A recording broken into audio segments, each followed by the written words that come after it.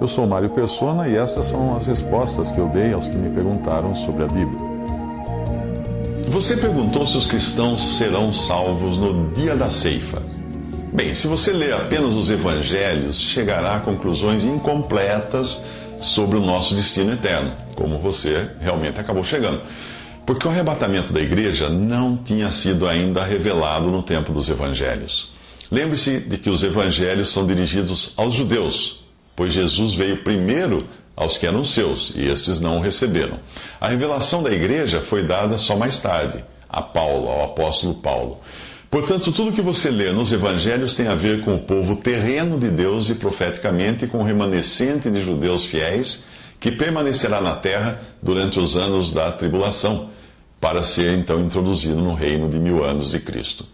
Entenda que entrar no reino terrenal de Cristo não é o mesmo que ser salvo eternamente, pois as pessoas entrarão no reino vivas em seus corpos de carne e não glorificadas como estarão então os habitantes do céu naquela, naquela época, naquela ocasião. Então, a ordem dos eventos, levando em consideração a revelação dada a Paulo, é a seguinte: é a seguinte. primeiro, acontecerá o arrebatamento da igreja que você encontra em 1 Tessalonicenses 4,17. Isso pode acontecer a qualquer momento, isto é, Cristo volta, mas não chega até a terra e nem é visto por todos. E aí então, dos céus, ele arrebata para si todos os salvos desde o princípio do mundo. Os que estiverem mortos ressuscitarão nessa hora, os que estiverem vivos serão transformados e subirão. Segundo, durante no mínimo sete anos após o arrebatamento da igreja, os salvos da atual dispensação, que é, chamamos de igreja, restarão na, ah, depois, depois desse arrebatamento desses, ficarão na terra apenas os que ouviram o evangelho e não creram. E também os que não ouviram o evangelho e, portanto, não tiveram oportunidade de estar entre os salvos que foram levados ao arrebatamento. Os que ouviram o evangelho na atual dispensação e não creram, não terão outra chance, pois Deus os fará crer na mentira do anticristo que se levantará após o arrebatamento da igreja. Isso você lê em 1 Tessalonicenses 2, de 7 a 12, e por aí você já pode entender que aquele, aquela ideia do, do livro e dos filmes deixados para trás é totalmente errada. Porém, os que não ouviram o Evangelho, judeus e gentios, poderão ainda se converter na tribulação que se seguirá. Esses serão as ovelhas, os gentios serão as ovelhas, e os pequeninos irmãos serão os judeus de que fala em Mateus 25, enquanto os incrédulos, nessa ocasião, da, da grande tribulação ali, serão os bodes, do mesmo, do mesmo capítulo 25 eh, de Mateus, ou então o joio de Mateus 13, que será ceifado por anjos.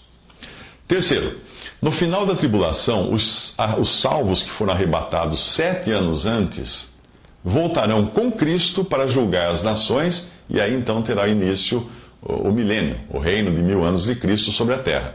Os que foram arrebatados antes não participarão do reino na terra, como súditos de Cristo na terra, mas reinarão com Cristo por sobre a terra. Isso está em 2 Timóteo 2,12.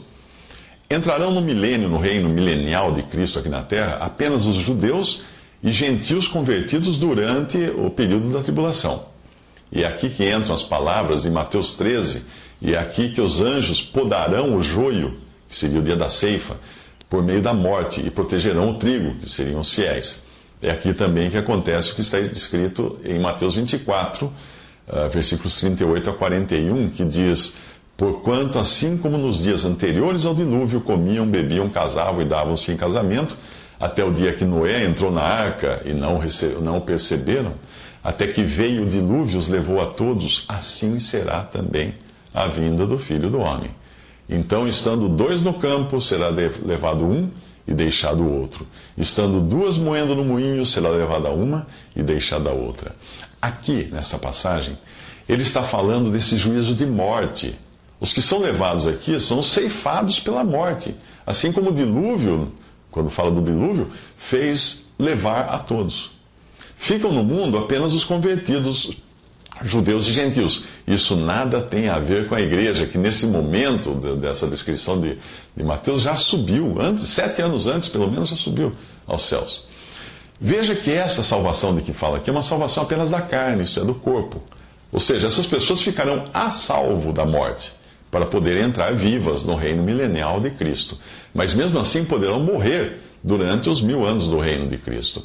Passagem que eu estou uh, mencionando aqui é Mateus 24, 22, que diz que se aqueles dias não fossem abreviados, os dias da, da grande tribulação, nenhuma carne se salvaria. Mas por causa dos escolhidos serão abreviados aqueles dias. Então, é uma salvação da carne, do corpo, para entrar no reino milenial de Cristo na terra. Se você se concentrar, portanto, apenas nos evangelhos, sem levar em consideração a doutrina da igreja, dada à igreja, que foi revelada por Paulo, chegará a conclusões equivocadas, pois essas conclusões só levarão em conta o povo de Israel. Se você segue a, a teologia do pacto, que é a doutrina corrente na maioria das religiões cristãs fundamentalistas, também chegará às mesmas conclusões erradas, já que os que professam essa doutrina acreditam que a igreja seria uma sucessora de Israel e que o antigo povo terreno de Deus, Israel no caso, não terá mais direito às bênçãos prometidas no Antigo Testamento, que essas bênçãos teriam sido agora para a igreja.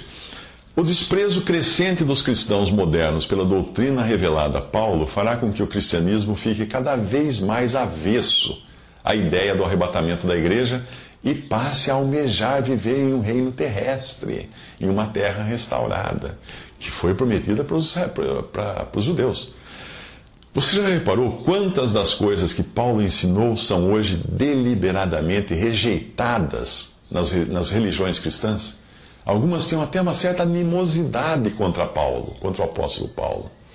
Quando você lê de fim do mundo, a expressão fim do mundo em Mateus 13, 39, precisa entender que a palavra mundo ali não é o planeta, mas o atual estado de coisas. Já ocorreu um fim do mundo no dilúvio, mas mesmo assim não foi o fim de que fala Pedro, eh, quando ele fala da vinda do dia de Deus, em que os céus em fogo se desfarão e os elementos ardendo se fundirão, segundo Pedro 3,12. Aí sim, você poderia chamar de fim do universo, pois é quando o tempo deixará de existir e com ele toda a matéria tal qual a conhecemos, para Deus então criar algo totalmente novo. Isso está em 2 Pedro 3,13. Nós, segundo a sua promessa, aguardamos novos céus e nova terra em que habita a justiça.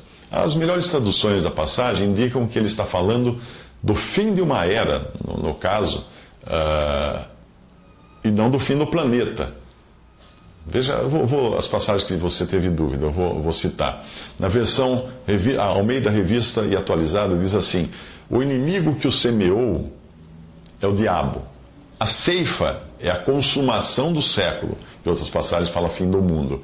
Os ceifeiros são os anjos. Percebeu? Outra versão diz que o inimigo que o semeou é o diabo e a ceifa é o fim do mundo. Mas veja que aqui é fim do mundo como nós conhecemos, fim do tempo no grego aionos, e os ceifeiros são os anjos. Darby, na tradução dele, diz, uh, vou traduzir do inglês, e o inimigo que semeou é o diabo, e a ceifa é a, a, o término desta era, e os ceifeiros são os anjos. Nessa ceifa, também descrita em Mateus 25, são os anjos que recolhem os salvos na proteção do celeiro. Porém, no arrebatamento, é o próprio Senhor quem vem buscar os seus. Portanto, não aguarde por uma ceifa, aguarde pela vinda, vinda do Senhor no arrebatamento.